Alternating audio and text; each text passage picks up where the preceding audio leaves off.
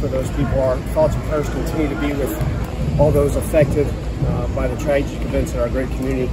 We hope that for a few hours we will be a, a small shining light for our great community. I know that we'll be strong and our people, the 901, will be steadfast and we'll continue to make great improvements in, in our wonderful community. But uh, this was for them, and it's an honor to come. And any chance you get to play at the academy, um, it's an honor, right? We know those cadets, those men and women in the stands, um, players on the field, for what they're doing to honor and serve our country. So we're grateful for them. Great to get a road win, and great to get the first win of the season. Uh, always a hard-fought game. Obviously, the way it came, uh, we'll take it. And uh, excited to get back home in a four-game home stretch. Obviously, also congrats to you, Frank, on your wedding. Uh, miss seeing you, but uh, you and good luck charms. Look forward to having you back around. But congrats on your wedding, and uh, look, excited to get back home, Celebrating the 901 this week.